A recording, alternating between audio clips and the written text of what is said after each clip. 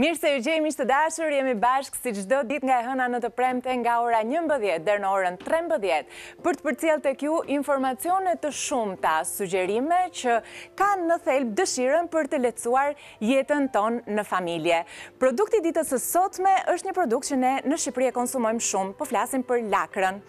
Është një produkt që në fakt është përdorur që në kohët më të lashta, edhe pse fillimisht mendohet se është përdorur kryesisht për të kuruar shqetësime të ndryshme të shëndetit. Kështu për shembull, romakët e përdornin për ato dhimbjet e kyçeve, për artritin, po e përdornin edhe nëse kishin probleme me gjumin, po e përdornin edhe nëse kishin shqetësime të tjera me stomakun.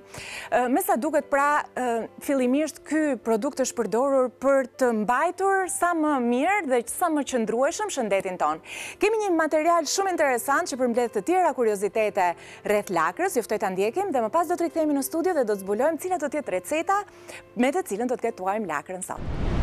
Ja ku jemi përsëri në studio, miq të dashur, më është bashkuar tani mikesha, kolegia Edlira Birko, dhe është një surprizë jo vetëm për ju, por edhe për mua vetë, Edlira, sepse unë nuk e kuptoj nga të burojnë të gjitha këto talente. Domethënë, ne të kemi pasur në emisione tona të ndryshme në RTSH, kur kemi folur për çështjet e arsimit, kur kemi folur për çështje sociale, sot Je në kuzhinë dhe do të na sjellësh një recetë shumë të shijshme. Mirë se të gjej. Mirë se erdhe. Në shtëpinë tënde. Faleminderit.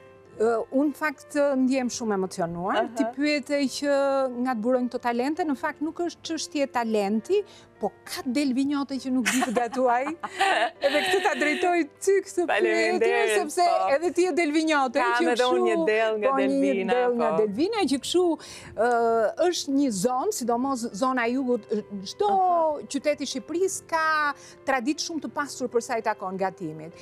Por nuk di atë lloj kulture në gatim, por që nuk është vetëm thjesht për ta gatuar, por edhe për ta servirur dhe për të bërë art me gatimin, unë mendoj që si në Delvinë nuk ka. Dhe, dhe do ta them një sekret, unë vërtet jam rritur me gjyshe, më ka ndihmuar gjyshja që të vogël të mësoj të gatuaj, por tamam tamam recetat, e thashë turqisht tamam tamam, ndoshta kanë ndikuar këto telenovela turke, sepse edhe një pjesë e gatimeve që po lidhet me lakrën, e kemi pak të huazuar edhe nga turqishtja, po dolmat, dhe më ka mësuar im atë. Oh. Edhe im atë ka qenë një kuzhinier shumë i talentuar, dhe shumë prej recetave i kam prej atij, që kështu Unë të falenderoj që sot më keni ftuar, jo vetëm thjesht për të bërë një gatim dhe për të ndihmuar të gjithë ata që na ndjekin, por pse jo edhe një nderim edhe për tim atë që prej 32 vitesh më mungon shumë.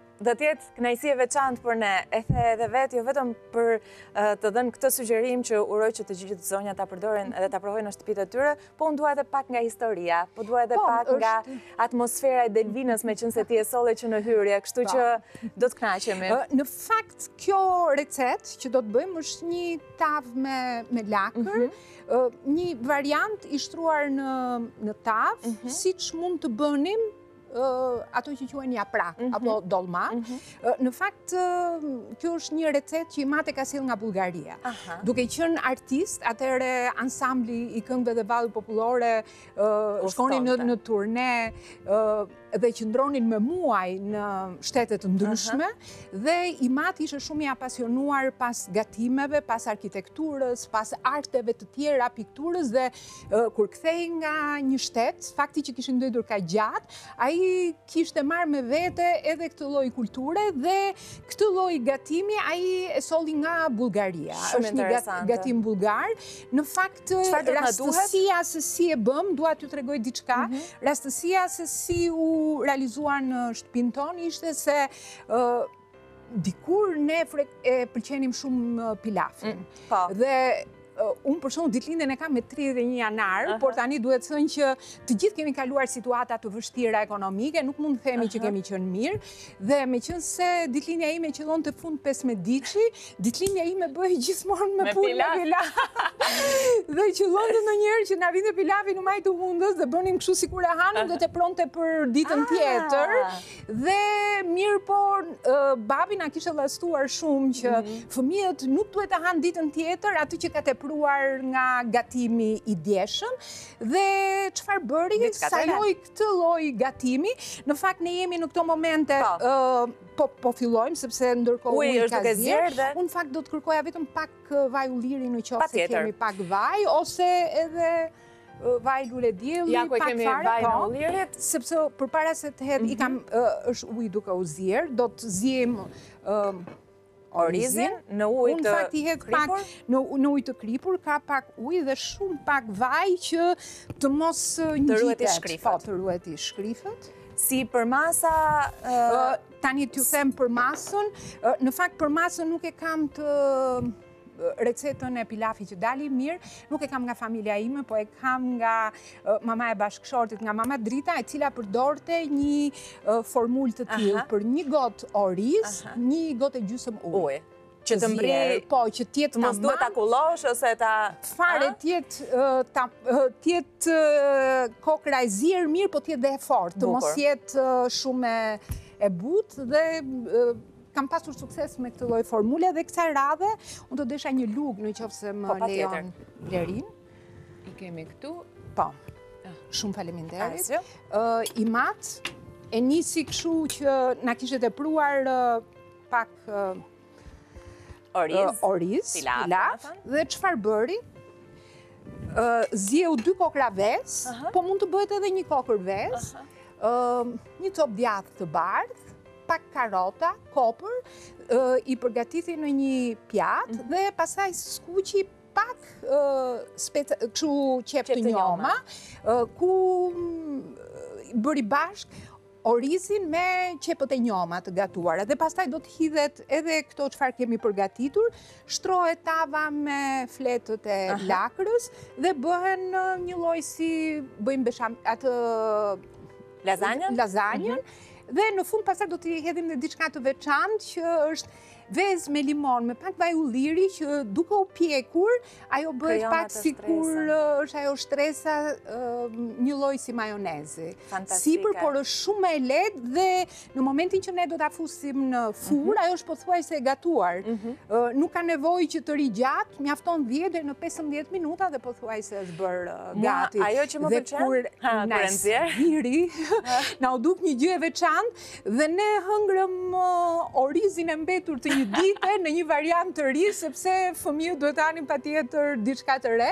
Unë e përdor herë pas here, megjithëse gjëja më e mirë që mund të dali me lakër, sidomos me lakrën e bardhë, janë dhe japrakët, se ne nga Delvina i themi japrakë. Në fakt, unë ato japrakët janë me ato që janë klasikët, janë me gjethet e rrushit, por bëhet edhe me lakë. Mua më pëlqen edhe fakti, sepse shpeshherë nuk kemi atë, le të themi talentin për t'i mbështjellë ashtu siç duhet, po. ka edhe ajo një marifet, po e them edhe unë një turqishte, po.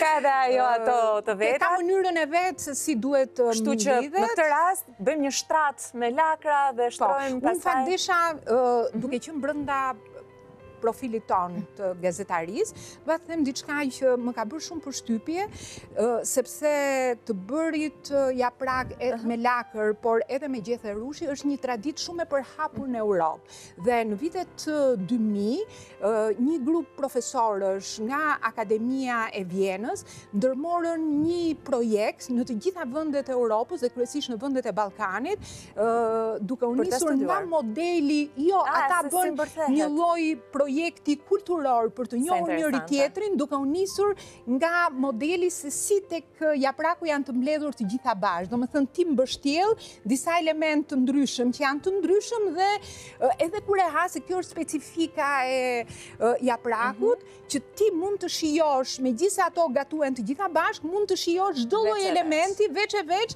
duke i futur në gojë. Biles Borgesi, një shkrimtar shumë i njohur, thotë që bukuria qëndron, jo tek ajo që gatuhet, Jo tek te goja jonë, por në procesin, shija krijohet në procesin e kafshimit. Po. Pra, kur ne aty prodhohet shija dhe prandaj, mhm. këtë ka japraku, ose dollma siç vjen në gjuhën turke, dhe ata çfarë bënë.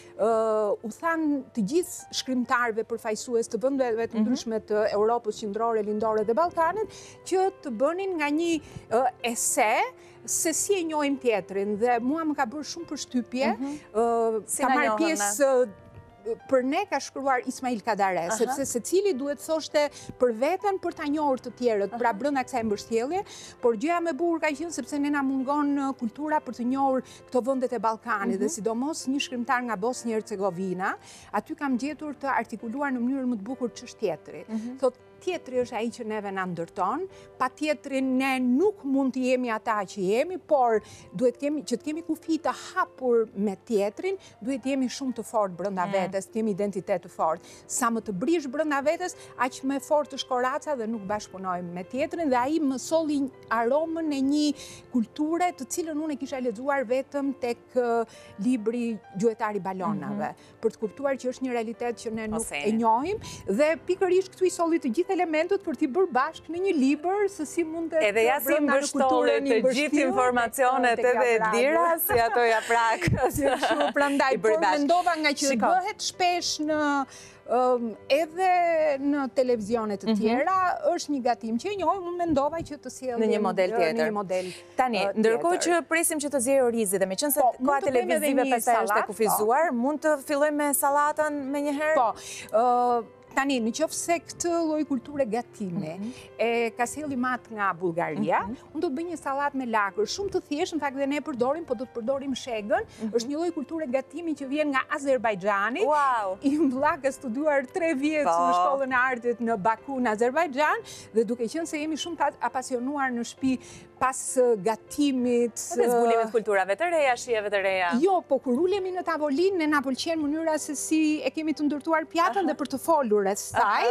Dhe ai solli një libër kuzhine dhe i kishte bërë shumë përshtypje në, në Baku, kishin dy gjëra specifike. Megjithëse koha kur ai ka studuar, pjesa më e madhe e popullsisë kanë qenë... Punojnë ndërkohë? Jo, jo të pasur, mhm. por thoshte pavarësisht krizës ekonomike që po kalonin në Azerbajxhan, dy kultura ata nuk i kishin harruar. Në shpinë e gjithkujt, edhe kur ishin të varfër, ata kishin të ruajtur takëmet e argjendit, mm. të lugëve, pirunëve dhe pjatat e porcelanit dhe në çdo gatim e shoqëronin me shegë. Të zbukuruar edhe me qepë të njomë. kjo vinte aty dhe veshjet për të shkuar për të parë në teatrin e operas dhe baletit, balet apo ah. opera. Dhe prandaj ai solli atë kulturën azerbajxhanase dhe thashë nëpërmjet artit një, një lloj formule që vjen nëpërmjet artit se i thonë arti i gatimit. Fiks. Atëherë marrim pak lakrën e bardhë. Uh, unë mbaj mend kur uh, ishte dita e lakrës, gjyshja ime blente gjithmonë një lakër të madhe, të bardhë, po ato që ishin bio, gjyshja thoshte kërcasin gjethet. Mua më pëlqen shumë kur është pikërisht ashtu, kërce. Po, është, uh, unë desha një thikë, po, uh, janë të mprehta, kështu po. që Me kujdes duart. Nuk po e gatu, nuk po e jo. pres si e priste gjyshja ah. ime, se kjo është pak lakër e fortë, mbaj mend që lakrat dikur kur unë isha e vogël, duke qënë bio, ishin pak më të lehta, gjethet ishin pak më të hapura, dhe ishin pak më të, po. po më të buta, dhe gjyshja ime hiqte përpara këtë. Koçanin. Koçanin, po koçanin, kështu i thoshin nga, nga jugu, është koçani i lakrës. Ose i misrit, kujdes po, duart. ose i misrit. Mm. Unë në fakt bëra një gabim, duhet të merrja thikën me vete, por duke qënë se erdha herët në mëngjes, Dhe thashë, po të vij me thikë në fund, se do të vazhdoj në tjetër televizion, do thoshin ka ardhur me armë të ftohtë. Nuk do ta kishim marrë dhe aq mirë me thënë të drejtën. Po. po ne kemi thikat e Comodita Home dhe në fakt të gjitha po. pajisjet e tjera të kuzhinës, kështu që dhe kam atë thikën time që është thikë sharrë, mhm. dhe ajo e pret shumë lehtë edhe shumë bukur uh, lakrën për, ah, po, lakrën për salat, sepse duhet prerë të kam të pastra dhe kam bërë një gabim që nuk e bënte gjyshja ime, që asnjë delvinjote nuk e bën. Përpara se fillon gatimin, duhen përveshur mëngët, a vihet një shami edhe në kokë, nuk vëmë shami në kokë, sepse Në guzhinë duhet të jemi... E kemi sjell pak në kohët tona. E kemi sjell guzhinën në kohët tona. Dhe mua më pëlqen edhe që një zonjë të vazhdojë të ruajë atë po. bukurinë edhe kur është duke gatuar. Po, pra... Pastaj shiko të themi të vërtetën, kur shkojmë për të gatuar në shpi, menjëherë nga puna, jo gjithmonë arrijmë të zhvishemi, se shkojmë në orare pa orare, dhe që t'i përgjigjemi familjes në kohë, Nisim gatimin pa u zhveshur mirë. Ajo është. që vëmë një përparse përpara dhe na duket vetja sikur gatuajmë si në kohë moderne. pavarësisht që shumë prej mënyrave, por uh, duhet thënë që jo, nuk, uh, nuk e ka atë mprehtësinë. Ah, okay, në rregull. Dua t'ju them diçka që për shumë prej uh, studentëve, dikur, apo artistëve që dilnin jashtë, mhm. sot e ka këtë lloj kulture një pjesë e familjeve, mhm. që sa herë që dilnin jashtë, Duke pasur këtë traditën e... Po, ja, u bë, mund ta ulim pak këtë po. blerin? Ta mbyllim fare. Mund edhe ta spostojmë, po, ndërkohë që të spostojmë. Ndërkohë, besoj se edhe vezët duhet të jenë bërë, mund ta... E fikim edhe këtë? Po. Pra kemi zier orizin dhe vezët. Që të rrinë këtu dhe pastaj e vendosim që të skuqim vetëm këtë, që të rrinë pak këto. Mhm. Kur shkonin për studime jashtë, shumë prej pajisjeve të guzhinës, enë guzhine, sidomos pjata, mhm. silleshin nga, nga jashtë. Dhe ne në shpi, unë prandaj më vjen keq që nuk e mora, kemi një thikë sharrë që është kaq elegante dhe kaq e bukur të cilën e, ka sjell vjehrri im kur ka qenë për studime në Çeki. Okay. Uh, ai ka qenë shumë i kujdesshëm, kemi shumë pjata edhe ne në shpi dhe biles uh, dua t'ju tregoj një histori që Unë ua them edhe studentëve të mi, për këta të cilët kur udhëtojnë jashtë shtetit sjellin enë, sidomos ata të cilët e duan shumë mhm. gatimin që e kanë art, im atë po nga Bullgaria, sepse mhm. prandaj do të sjell këtë historinë po nga Bullgaria, kishte sjellë një komplet përveç pjatave, që qenë porcelani, mhm. edhe një komplet shumë të bukur të gotave të pijes. Mhm. të ishin kristal, të cilat ishin të pikturuara si me ar dukeshin ato, mm -hmm. të mhm. vogla me një gjethe rrushi, kishin edhe atë shishen e tyre. Dhe kur e vinim në biblot, në atë që quaj... Kredencë? Në dolap, apo... Po, bufe? Në bufe, po. Ajo jepte një dritë kaq të bukur të gjërave sa të mbeteshin sytë dhe kur na vinin për vizitë njerëz të rëndësishëm ne nxirrnin pikërisht këtë kompletin. Ë mirëpo atëherë nuk është se kishe shumë gjëra për të ekspozuar. Jo për të ekspozuar, po dhe për qerasur, edhe kjo është fjalë turke për qerasur. Dhe shkonim blinim karamele Zana. Mhm. Dhe për karamelet Zana kur iknin njerëzit, unë edhe im vlla nxitonim, ndërkohë që mami dhe babi ishin te dera duke i përcjell njerëzit, ne t'i hanim me nxitim ato karamele që ne lira, ja do bëj dhe pak, po marr një pjatë, po unë mendoj që është mjaftueshëm sepse po, një pjatë sa për ta po, për ta ekspozuar, për ta treguar.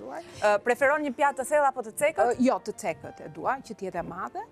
Dhe një ditë në këtë nxitim e sipër me tim vlla, ai mund të ketë qenë diku 7 vjeç, unë kam qenë 13, pa dashje cepi i bluzës kapi një nga gotat dhe u thye. Po mënyra si u thye, ne u trëmbëm pak dhe filluam të qeshim. Ë, do ndaloj këtu pak. Ë, më kujtohet që im atë erdhi e pa, u ul në gjunjë, i mblodhi copat dhe filloi të qante. Dhe tha, ju nuk e dini, tha, se me sa mund më është dashur mua, që t'i sjell, se atëherë nga Bulgaria duhet të shkoje me dy avionë, mhm. për orë të tëra, i kam mbajtur, tha, si fmi, i kam blerë, tha, me ato pak lekë dietash që i jepnin ansamblit mhm. atëherë për shkuar, dhe ato, tha, kanë qenë të shtrenjta për mua si, si një fmi. Dhe duhet t'ju them një gjë, tha, ajo që ju duket, tha, kaq e thjeshtë, ka mbrapa, tha, një mund dhe një punë, tha, të jashtëzakonshme.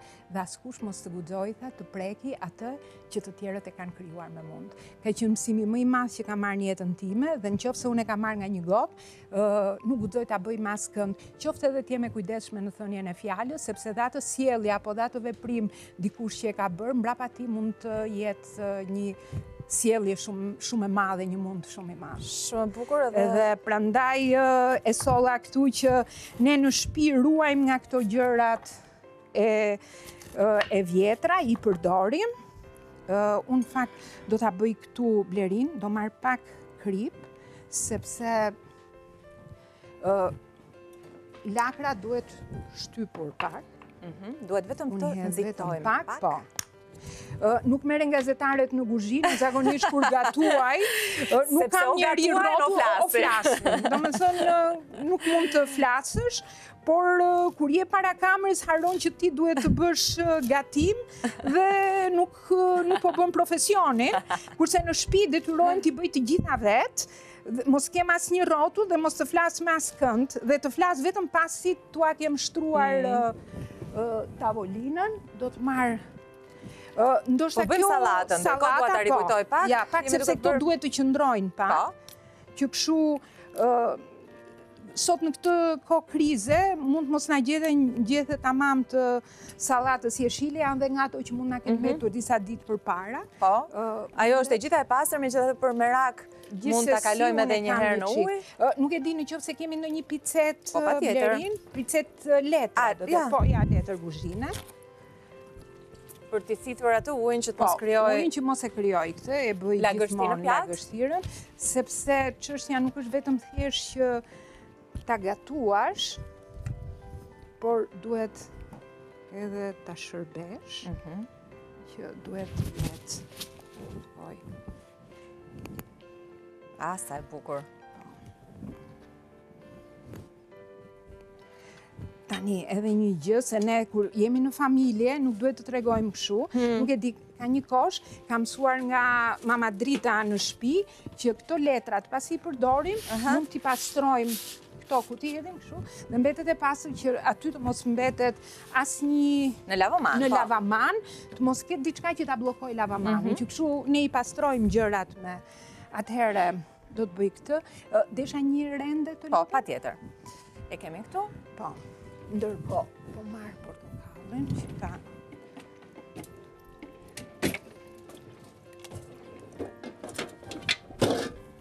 Ke si këtë variant, ashtu edhe këtë variant? Jo, jo me këtë do ta bëj.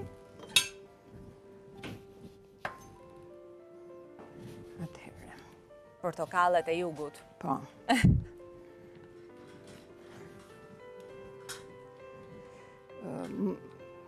kam parasysh këtu te vitet fundi i viteve 70 deri nga mesi i viteve 80 kur shkonte im atë me shërbim nëpër rrethe që jepnin shfaqje, sidomos kur shkonte nga jugu vinte gjithmonë me thas me portokaj dhe limona, ah. dhe kur erdhën vitet 85, 86, nuk gjeje më asnjë gjë, dhe im atë thoshte, ju nuk e kuptoni, thoshte që edhe në fshat, se në çfarë situate të vështirë jetojnë, sepse mund të shkosh dhe mund mos gjesh asgjë. Mhm.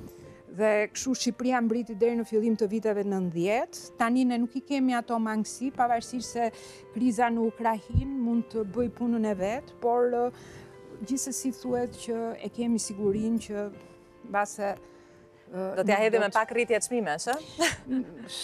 Megjithëse përfaqësues të organizatës Kombeve të Bashkuara thonë që kjo është kriza ekonomike dhe ushqimore më e madhja menjëherë pas luftës së dytë botërore. Jemi akoma fillimi, por gjithsesi të shpresojmë që nuk Ok, po grim karotën për të ashtuar... Nuk do t'i hedh. Shumë. Sa për ngjyrë. Që të jetë sa për ngjyrë. Çikë, më fal. Blerin se e kam... Jo, jo, të kuptoj shumë. E kam të vështirë këshu kur pa e pastruar pak këtë se do punojmë këtu. Këtë... Do të merrja një dy, këtë që kemi mësuar, ja një sekund nga nga gjyshja, se në Delvinë nuk hedhin asgjë poshtë, edhe bishtat e qepëve i përdorin, që pëshu nuk mendoj se do të... Kështu që do të marrim pikërisht bishtat e qepëve. Po. Do t'i hedh pak kështu nëpër nëpër të.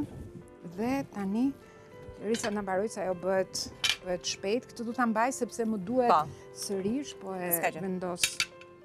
Është pastër. Do sa kështu është pastër, po i lë pak këto këtu, ë sepse do më duhet prap karota dhe ajo për të bërë mbushjen e po. Letimi po. M'u desh një këshu shtrydhëse për limonin, edhe po. po marr pak pecetë se kur përdor kripën, i fshi gjithmonë duart përpara, sepse duhet të përdorim sa më pak kripë, dhe kur duart janë të lagura, mund të marrë kripë qoftë për salatën ose për mhm. gjellën, pak më shumë se ç'duhet, unë nuk jam shumë tek, tek kripa. Atëhere, do të marr pak limon. Limon. Se gjysma më duhet për...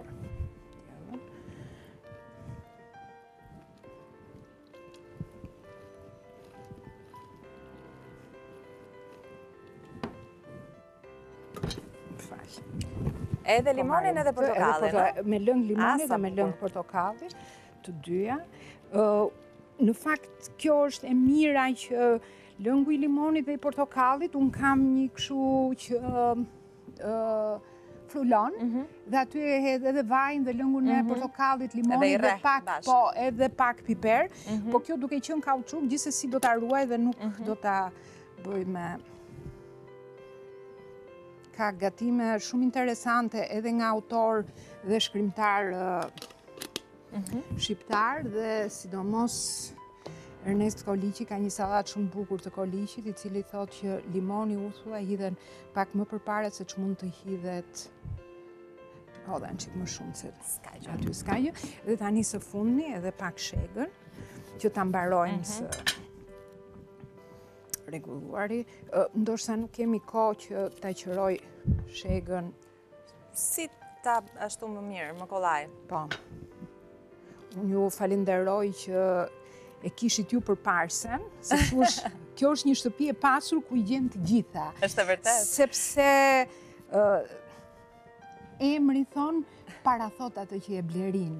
Bleron çdo gjë dhe në familje ti i gjen të gjitha që lidhen me gatimin që edhe prandaj mirë po kam vënë po kam vënë nuk është Duhet të marrin. Prandaj thuhet që gjithmonë shefat e kuzhinës i marrin gjithmonë ato mjetet me vete se duken sikur s'din të gatuajnë me mjetet e të tjerëve, po nganjëherë mjetet dhe sidomos thika të bëhet si gjymtyrë stilolapsi. Po, si stilolapsi.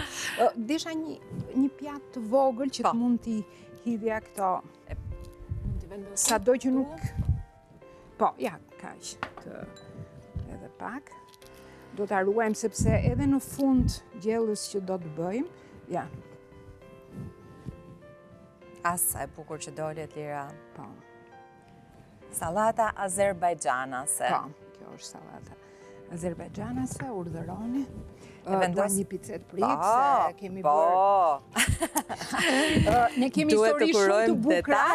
Unë e kam shumë pasion gatimin, por mbi të gjitha të shtruarin e tavolinës, të rregulluarit të pjatave, zakonisht përdor gjithmonë qirinjtë, lulet. Vërtet, po. po arrin ta bësh rregullisht apo kur ke mundësi? Shiko, kur deri në moshën 30-30 e ca vjeç, mhm. e kam bërë rregullisht, sa biles kur i kisha fmijët e vegjël, në mhm. kohën që nuk dilja në punë, gatimin në shpi e bëja me menu. Dhe dua t'ju them diçka që kur ishin 12 vallëzime pa një të shtunë, po.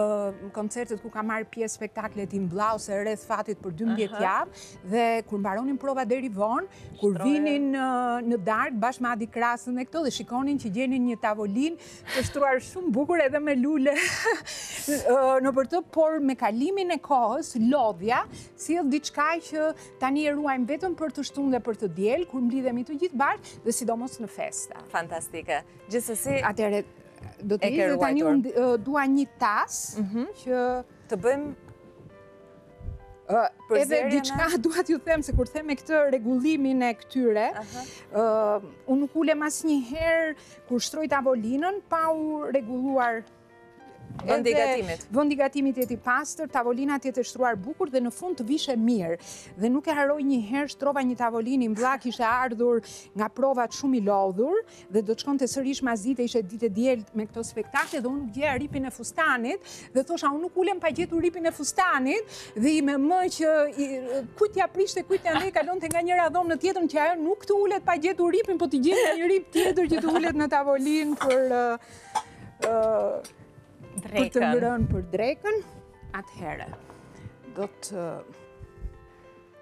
Kemi zierë orizin vezët, tani ka ardhur momenti. Përpara shiko, përpara se të po, është e nxehtë. Atëherë shiko, do të bëj pak, se këto janë të fundi që mhm. duhen gatuar. Ti lë këtu. Një i gjithën e parë.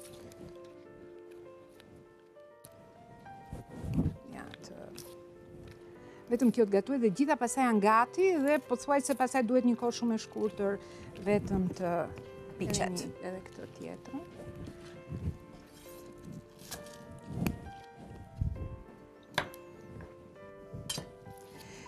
Mirëpo të të gatuash kërkon përpara një herë një përgatitje mendore, çfarë do të gatuash, mhm. si do të bësh dhe për ata të cilët gatuajnë që nuk e kanë thjesht profesion, po janë amvisa në shpi, unë mendoj që është preokupacioni më i madh.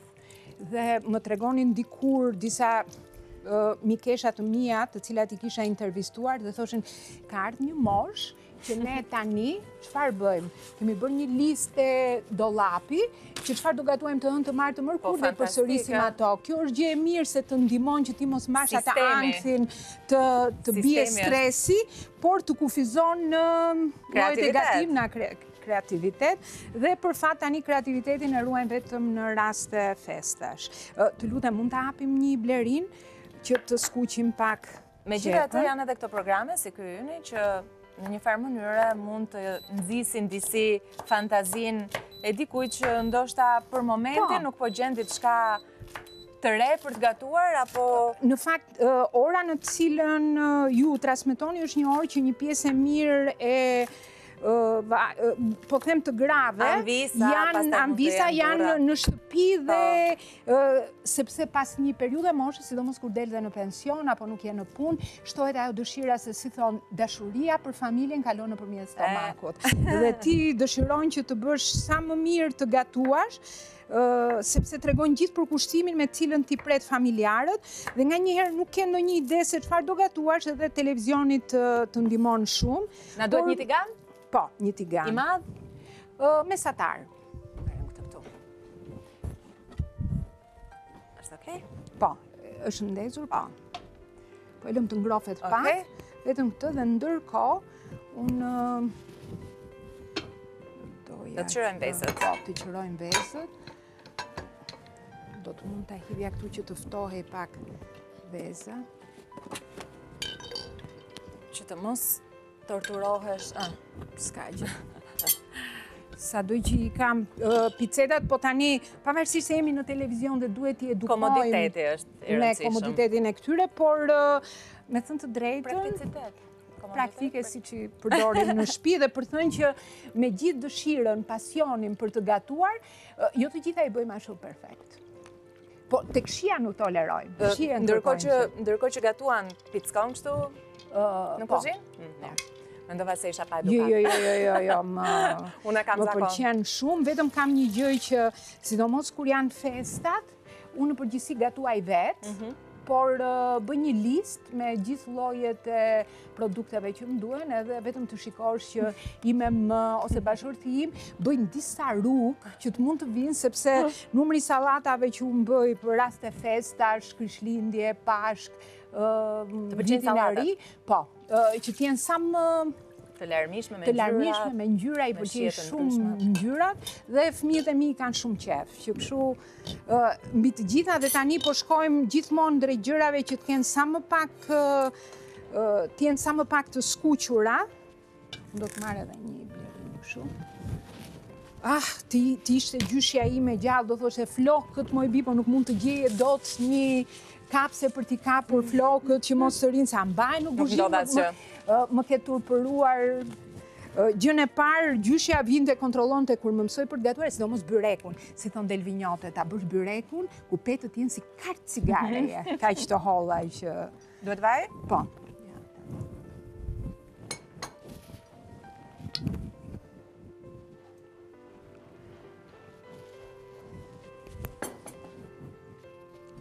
Do të skuqim qepën. Po. Ndërkohë që skuqet qepa, nuk di në qoftë se tigani ka kapak Blerin? Po, patjetër. Sigurisht.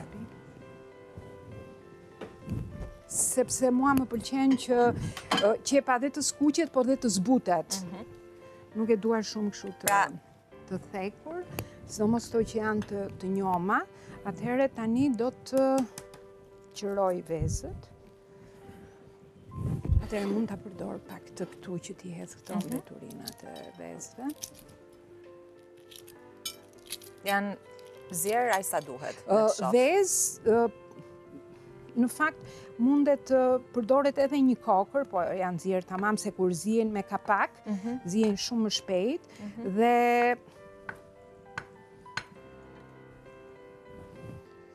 mund të përdor dhe një kokërr, se tani kokrra e vezës ka shkuar thonë 400 lekë, që kështu edhe po, një kokërr vezë. Po, pjas, që... Po, nuk ka, që kështu prandaj unë mendova që të bëhen dy kokrra.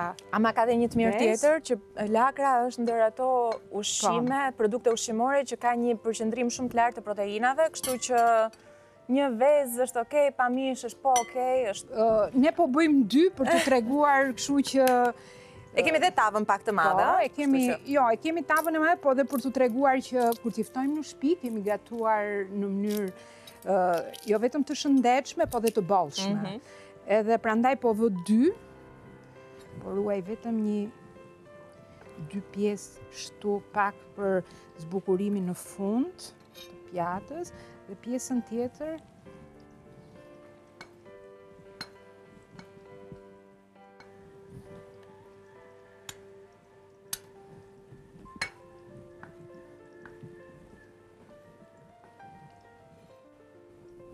Atëre, hedhim këto. Kështë edhe kjo është kështu.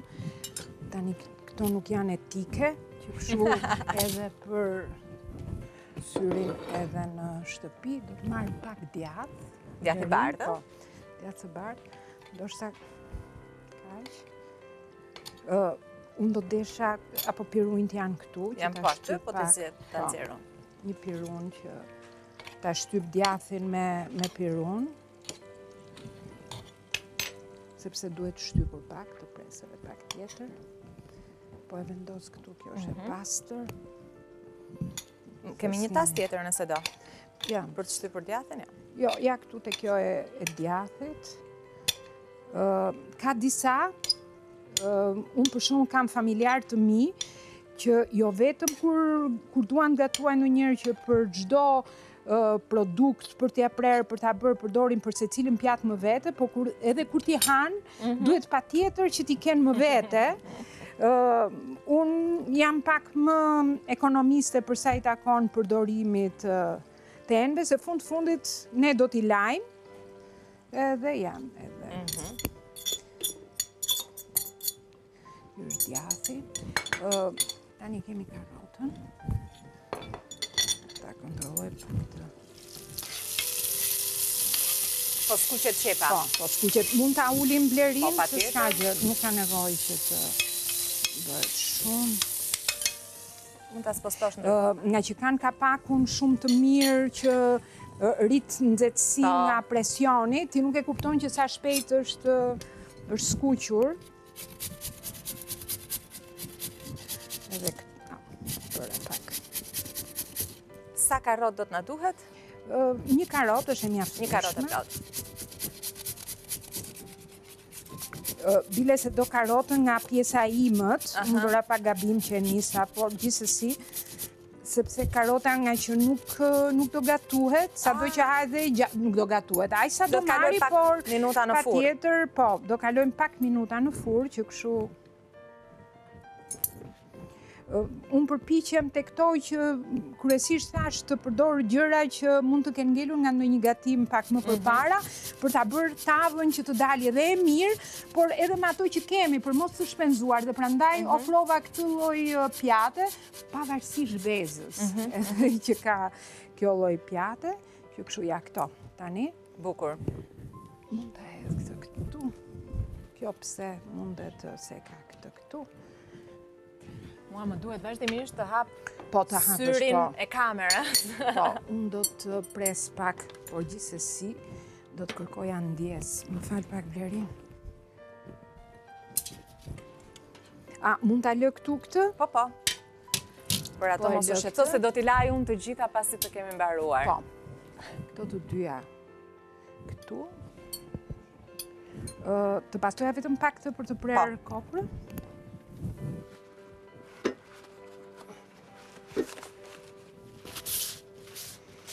Mirë, po, jemi duke realizuar dy receta me po, Edlira Birkon, po. është një variant Kanë ato ndikimet që mund të kenë Blerin, nga po e vendos këtë këtu. Unë në fakt gjithmonë nuk e di si i përdorni ju, kur mbaroj pjesën e pllakave, marr gjithmonë një tenxhere me ujë të ftohtë, i vendos sipër, po, gjithë. Po, që të mos më humbasë nxehtësia kot. Po. jo, po, thuhet edhe ruhen pllakat. Po, vatrat. Vatrat. Kambinin duhet të jetë i larë. Po, po, çdo gjë që gjen këtu është e larë, dhe meqë jemi këtu, dua po. të bëj dhe një falënderim për supermarket Joenën, sepse të gjitha produktet ushqimore, si frutat dhe perimet e freskëta ashtu edhe të tjerat, ne i marrim ditë pas dite, pikërisht te supermarket Joena, kështu që shumë faleminderit.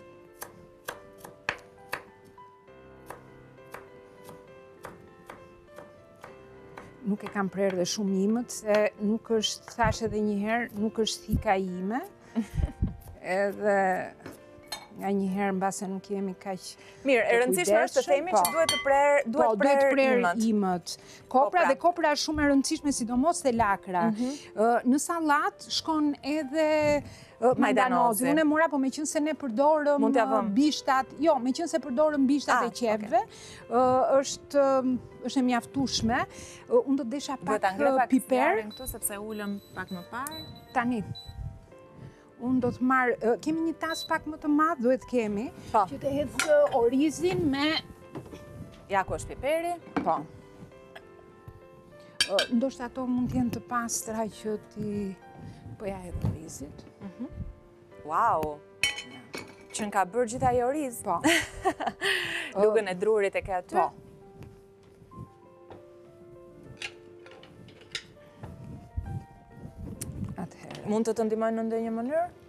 Apo do garuzhdë? Ja, s'ka gjë.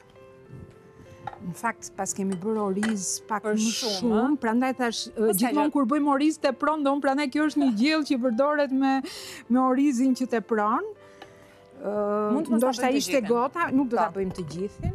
Ja edhe pak.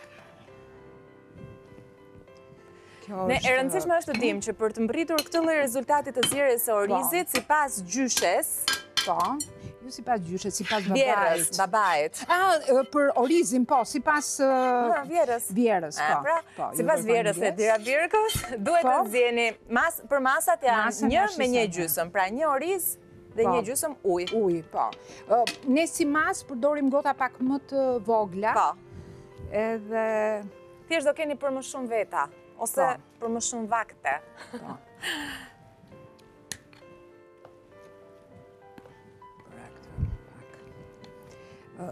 Gjithsesi do t'i hedh edhe pak kripë. Mhm.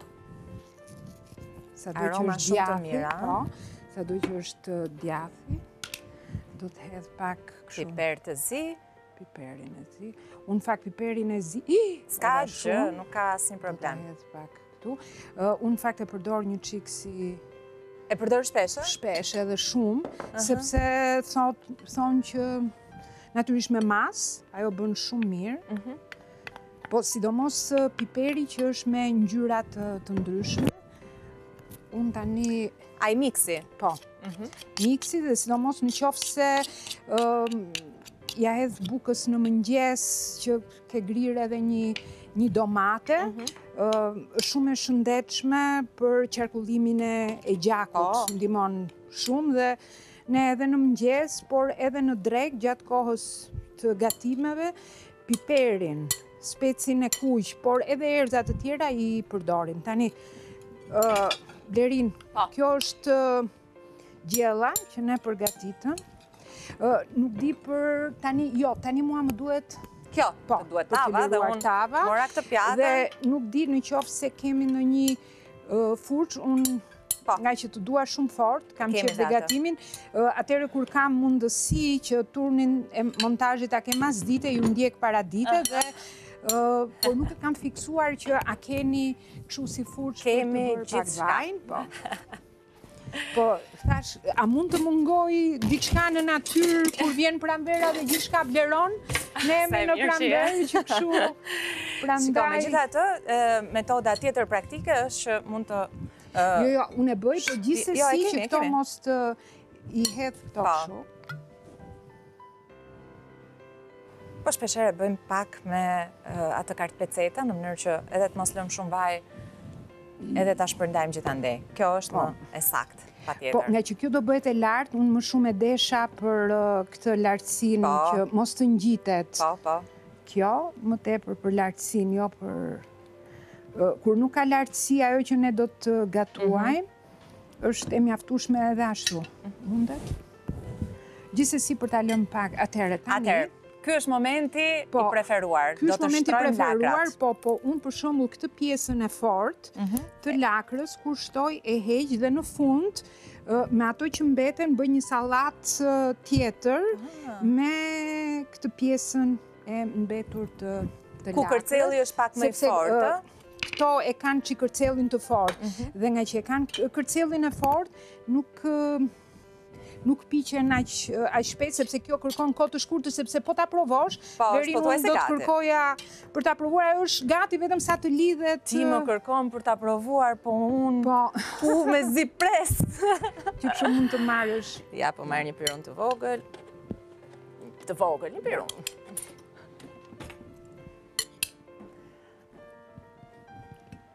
Provoj një sekondë, se mund t'i mungojë edhe... Mm. Për mua është perfekte. Unë është një bashkim si është po. vërtet shumë i mirë. është vërtet, është shumë i veçantë mhm. në... është një gjë ndryshe. Unë thashë ngaqë jam shumë e apasionuar pas gatimit, mamaja ime thosh që në qoftë se ti nuk do bëheshe gazetare, mm. Mund të bëhe patjetër shefe e guzhinës, sepse më kanë ftuar gjithmonë edhe nëpër shpinë, nëpër shpitë e kushurinjve të mi, që kur vinin miqtë për të shtruar për shumë njerëz dhe për të gatuar, tani më duket sikur ndoshta nga lodhja dhe profesioni bën të vetën, sikur disa prej recetave i kam harruar, po unë gatimin e kam dashuri dhe ndonjëherë mund të rri deri në orët e vona për të parë recetat, videot edhe kam kërkuar gjithandej dhe këtë lloj recete nuk e kam... Po, këto zemrat, zemrat të cilat... Janë më po. të njoma. Edhe sallata me lakër të zier, del shumë e mirë, unë e shoqëroj pak me qepë, me ullinj, edhe këto i bëj me pak limon të grirë, si portokalli dhe me portokall del shumë e mirë. Mhm. Këtu. Nuk ka dhe shumë yndyrë nuk ka yndyrë dhe nuk ka as shumë po. brumë. Jo, nuk ka. Dhe është vërtet është shumë është një vakt që të edhe të të ngop, është edhe i shëndetshëm, por të ofron edhe një shije tjetër. Mhm. Tani jam kurioze për atë salcën që të. tani. Ndërkohë që nëse po. bëjmë një përsëritje të shpejtë të të gjithë procedurës deri tani. Ne ziejmë uh, orizin me pak uh, kripë. Uh, unë zakonisht më pëlqen se jep një shije të veçantë, orizin në vend të kripës, sepse dhe nuk kanë shumë kripë, e ziej me një tabletë nga ato supat e po, pulave. Po. Po, vetëm të pulës përdor. Ajo është në dëshirë? Vetëm një është, është në dëshirë, sepse i jep uh, orizit një shije ndryshe, po. Dua vetëm që të mos kemi shumë enë po, në qarkullim që të ashojmë pastër. Pasi kemi zier Së pari një herë ne ziejmë gjethet, po. sepse dhe unë dua të falënderoj të gjithë stafin që punoni së bashku, sepse më ndihmoi se nuk ka punë më të rëndësishme se sa Të heqësh fije për fije, gjethet, të hapësh lakrën dhe ta, po, ziesh, që kështu i falënderoj nga zemra. E falënderoj dhe unë. Po duke menduar që herët e tjera i kam bërë gjërat vetë, më kanë ndihmuar dhe m'u duk sikur e bëra vetë kësaj radhe, ndërkohë që e gjeta të gatshme, po kjo nuk është korrekte, që kështu dëshiroj të falënderoj stafin Blerin që që e sollën punën pak përpara në mënyrë që ne ta gjenim. Pra, së pari ziejmë gjethet e mhm. lakrës. Unë bëj gjithmonë marr një lakër ku gjysmën e fletëve bëj tavën dhe gjysmën tjetër e përdor për sallatë, mhm. që mos kemi shpenzime. Ja do t'i vë dhe pak. Kështu. Kështu që ziejmë lakrën, ziejmë po. orizin, ziejmë dy kokrra vezë dhe më pas po. i bashkuam të gjitha. I bashkuam me djathë, me kopër, me karotë, sepse para dhe i jep shije, por Ka edhe e bën shumë të, të shëndetshme, por edhe ngjyrat janë shumë të bukura. Mhm. Duhet ta ja. Jo, duhet ta shumë. Unë e përdor këtë gishtin kështu, unë e kam nga gjyshja tani. Po nuk po, edhe në qofë se më shajnë, po, në qofë se përdor gishtin kështu. Që kështu, jo gjithmonë i kemi enët në duar dhe nganjëherë për të shkuar tek dhoma tjetër, kur mund t'i kemi vënë kështu si në bufe këto enët që Kanë vajin e duhur, unë tani do desha të fundit Bleri, mhm. nuk e di pse po më duket vetja jo shumë e pastër sot. Elira, unë nuk kam parë njeri që të fshijë më shpesh se ti vendin e gatimit, por... Kjo duhet të jetë e piperit të zi. E piperit, se kam kështu... Më duket nuk e kemi mbyllur këtë, se thashë unë si ka mundësi që ajo po zien. Dhe tani desha vetëm një, po marr një, një tas të vogël, Pa më sharë amvisat që mund të përdorin mund të ne kemi marrë katër kokrra vezë, dhe sikurse the ti, duke qenë se është pa mish, vezët kompensojnë mishin. Po. Por edhe ata të cilët nuk duan ta kompensojnë mhm. mishin, sepse e kanë marrë në mënyra të tjera gjatë javës dhe duan të mhm. kursejnë, mund të përdorin një kokërr vezë të zier t'ia hedhin brenda dhe një kokërr në fund. Për salcën. Por ne që të dalë dhe mua siç thosh gjyshja të më zbardhet faqja sot, po marr dy kokrra që të dalë e mirë dhe dy kokrra në, në fund. Desha një pirun të përziej se kjo me djathë është, tani Jemi në kuzhinë, i kemi përdorur vetëm për ushqime. Meraku është merak, e di, duhet kripë? Unë tani jo, nuk, nuk ka nevojë për kripë. Ka nevojë vetëm të shtrydhet gjysmën e limonit. Shiko. A, ke merakun... Ka merakun se e bllokon po, lavamanin dhe prandaj... Me qenë se jemi në televizion, jo vetëm që kam merakun e shpisë, po kam merakun dhe të kolegeve dhe tëndin që mos të lodhesh, që këshu nuk doja që të bllokohet lavamani. Që kështu prandaj... Unë kam merakun e kohës ndërkohë. Vetëm... Dhe mundohem t'i bie pak shkurt. Vetëm 10 minuta ndërkohë, edhe në qoftë se është në furrë, Ne nuk e arrijmë, unë do bëj vetëm të kesh një rregullim të vogël blerim për të vënë atë në fund, po faleminderit. Të lutem. Se sot s'kam bërë asgjë. Zakonisht unë mundohem të jap kontributin tim modest. Po më duket të habita me të folur, unë nuk flas kur gatuaj dhe kur udhëtoj dhe ata të shpisë kur lodhen nga të folurat e mia, se thonë mirë që të dëgjojmë në ekran, po duhet të dëgjojmë dhe në shtëpi kaq shumë, thonë ty: o duhet të çojmë në shërbim, të shkosh në punë se në makinë nuk flet, ose, ose duhet të gatuash. që kështu ndoshta të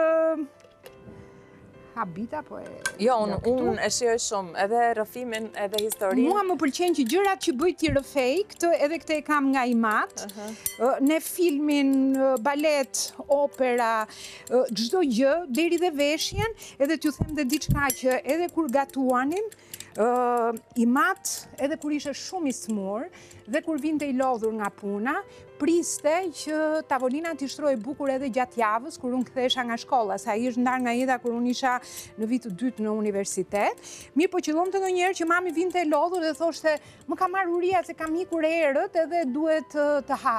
Dhe babi thoshte kur unë me stomak jam ulur në divan dhe po pres që vajza ta shtrojë bukur, nuk po e pret ti që sa ke ardhur nga puna, dhe prandaj dhe pastaj përpara se të hanim, kur shtrohej bukur e diskutonim se si ishin projektuar të gjithë përbërësit, si ishin lidhur me njëri-tjetrin, edhe si ishin shtruar, sa edhe halla ime, halla e vogël, Afërdita Avari, unë do t'ia përmend emrin se mhm. dhe ajo nuk jeton, po ka qenë një nga zyshat më të njohura të gjimnazit Partizani, zysha e letërsisë, zyshë e shumë personaliteteve dhe kryesisht atyre të medias, dhe ajo gatuante shumë bukur, mirëpo kur ishte Viti i Ri, Bënim gjithmonë garë, shkonim sa te shpia e hallës, vinin dhe ato te ne, dhe kush ia merrte për gatim. Halla duke qenë më e madhe mund të ma merrte me të gatuar, por nuk ma merrte me shtrimin. Ah, që kështu edhe babi kishte një lloj krenarie që mund ta vendosim. Nuk ka nevojë për këtë, po mund ta vendosim po. direkt në furrë, në temperaturë. Kjo tani nuk do në temperaturë edhe të 200 gradë, sepse mjafton vetëm të mpikset ajo, kurse gjithë gatimi është është i bërë gati. 10 minuta në 200 gradë. Unë këtë vezën me mhm. limon, sepse jep një shije shumë të mirë gatimi dhe kryesisht lakrës, e përdor edhe kur bëj japrakët mhm. apo dollma. Aty orizi është i pagatuar, domethënë bëjmë vetëm skuqjen e këto, dhe gjatë kohës që ajo zien, ne i hedhim ujë pak nga pak dhe kur Uji është i pashterur tamam dhe aty bëhet më mirë se do pak mhm. ujë, unë prandaj hodha pak vaj, hedh vezën dhe ndërkohë e lë të ziejë. Dhe ajo merr një sipërfaqe të verdhë, kaq të bukur sipër, dhe del ndryshe nga dollmat që ne jemi mësuar që t'i shikojmë të serviren ashtu siç janë mbushur. Atëherë, unë për të ta plotësuar ty deri në fund merakun, po. do të jap një po. klip, Ndërkohë po. që ne realizojmë pastrimin e të gjithë vendit po, të punës, edhe presim që të na dalë po.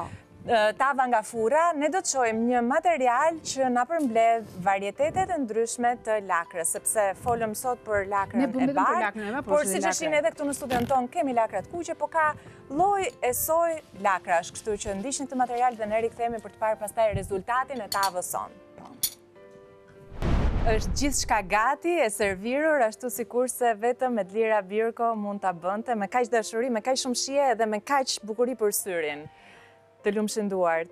Unë të falënderoj, nuk e thashë më kot po e përsëris sa herë që emri është ai që na parathotë edhe atë çfarë ne jemi, edhe prandaj u përpoqa që të gjitha llojet, ngjyrat e pranverës të mund t'i sillja në këtë lloj gatimi si dhuratë për ty në veçanti, edhe për gjithë stafin realizues, për të gjithë që punojnë. Televizioni e kam thënë dhe njëherë është frymë dhe pa këtë lloj fryme, pa këtë lloj dashurie ne nuk mund të japim atë produkt që duhet. Prandaj unë mendoj që ishte një dhuratë për Si në Familje. Të falënderoj nga zemra, ti thua Blerina, po unë them Edlira, dhe këtu çdo gjë është e dlirë, të falënderoj edhe për lulet që na ke sjellë sot, sepse ka qenë ndryshe nga çdo ditë tjetër banaku me prezencën e tyre. Unë kam knaqësi lulet dhe solla ngjyrat që pak a shumë do t'ishin edhe tek kjo pjata, përveç portokallisë, ia kërkova atij zotërisë, Dhe për fat duhet thënë që shiten përpara televizionit shqiptar, që kështu ne kemi të zbukuruar edhe përpara institucionit, që kështu nuk kishte si të na mungonte në këtë mjedis. Shumë faleminderit edhe një herë Edlira. Ishte kënaqësi. Kënaqësi e gjitha e jona. Shkëputemi vetëm për pak edhe rikthehemi menjëherë në Si në Familje.